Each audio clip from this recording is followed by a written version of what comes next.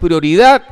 eh, la nueva constitución. Pero sin embargo usted eh, ve las redes sociales y todo el mundo está señalando que el Perú ya merece una nueva Carta Magna. La del 93 no es lo que requiere este país porque han habido cambios sustanciales y habrá que elaborar una nueva Carta Magna. ¿Cuál es la posición suya como congresista, por favor?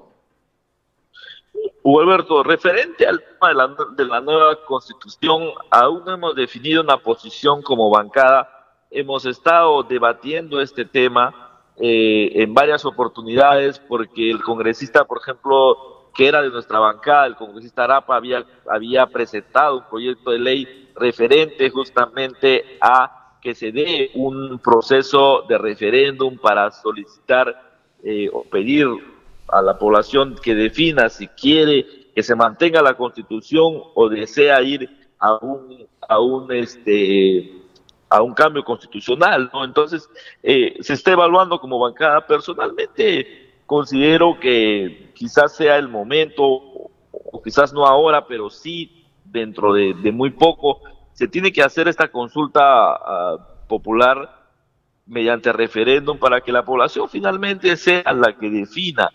eh, si va o desea que continúe el mismo, la misma constitución o si desea que se haga un, cambio y se pueda hacer. Lo único que,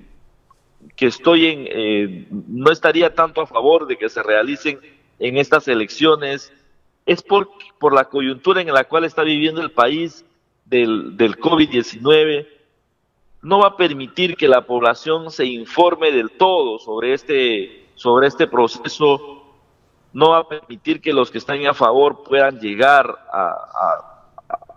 a, concientizar a las personas, a saber cuáles son las bondades de poder cambiar una constitución y las que están en favor que se queden tampoco va, va a permitir un escenario de poder justamente hacer debates referentes a este tema y, ese sería el único inconveniente que yo vería de que no se, de que se den un referéndum en este, en este proceso electoral, pero considero de que durante este, este, este nuevo periodo se tiene que, que dar algún tipo de referéndum, puesto que ya existen, al principio eran unas cuantas voces que quizás pedían una nueva constitución,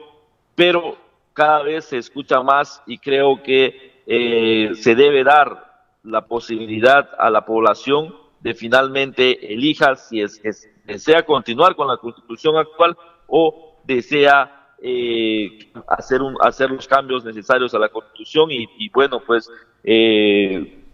ver una asamblea constituyente para poder redactar una nueva constitución, ¿no? Es interesante que hay que saber escuchar posición a la población para que pueda definirlo, ¿no? Claro, hay que saber escuchar lo, que dice la calle también. Para terminar, una pregunta del millón, por favor, señor parlamentario eh, Leonardo Ingazales. Usted ha estado apoyando gestiones del alcalde para concretar